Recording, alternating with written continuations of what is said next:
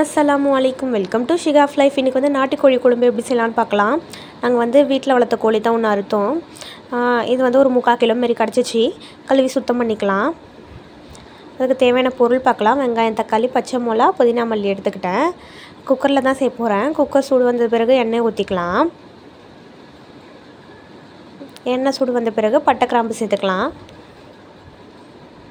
அப்புறம் வெங்காயம் போட்டுக்கலாம்.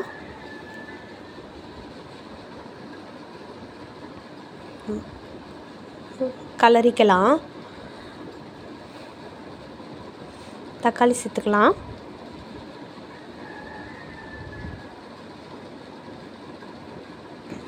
இப்போ வந்து புதினா மல்லி சேர்க்க போகிறேன்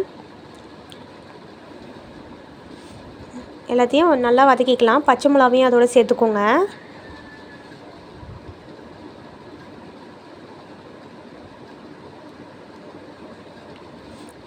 அப்புறம் வந்து நம்ம இஞ்சி பூண்டு சேர்த்துக்கலாம். நான் வந்து டூ ஆஃப் ஸ்பூன் சேர்த்துக்கிறேன். இது நாட்டுக்கோழி குழம்புன்றனால அது நல்ல ஒரு வாசனையாகவும் இருக்கும் இஞ்சி பூண்டு சேர்க்குறனால.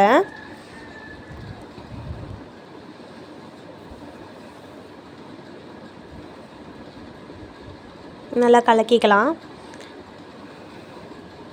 அப்புறம் மிளகாய் தூள் வந்து ஒரு ஆஃப் டீஸ்பூன் எடுத்து போட்டுக்கோங்க. அப்புறம் வந்து ஜீரகத்தூள் வந்து நான் டே டீஸ்பூன் அளவுக்கு ஒரு ரெண்டு டீஸ்பூன் போட்டுக்கோங்க. அதே மாதிரி மிளகுத்தூளும் ரெண்டு டீஸ்பூன் போட்டுக்கோங்க. கல்லுப்பு சேர்த்துக்கலாம். எல்லாத்தையும் நல்லா கலரிப்போம். அப்புறம் வந்து நம்ம சுத்தம் செஞ்சு வச்சுருக்க கறியை சேர்த்துக்கலாம்.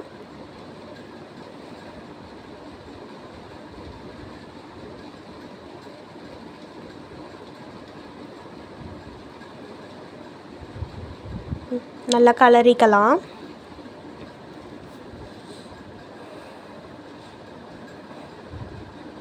தேவையான அளவுக்கு தண்ணி ஊற்றிக்கலாம்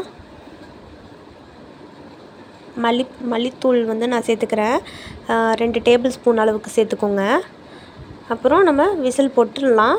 ஒரு நான் வந்து ஒரு மூணு விசில் விட்டேன் அப்புறம் வெந்துடுச்சு. நான் சட்டிக்கு வந்து ட்ரான்ஸ்ஃபர் பண்ணிக்கிறேன்.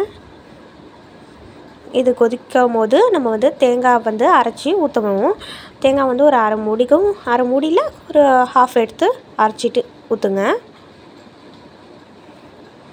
இப்போது நல்லா தலை தலைன்னு கொதிச்சாச்சு. இப்போது சூப்பராக ரெடி ஆகிடுச்சி நாட்டுக்கோழி குழம்பு ரெடி ஆகிடுச்சி எங்களோட வீடியோ உங்களுக்கு பிடிச்சிருந்துச்சுன்னா லைக் பண்ணுங்கள் ஷேர் பண்ணுங்கள் கமெண்ட் பண்ணுங்கள்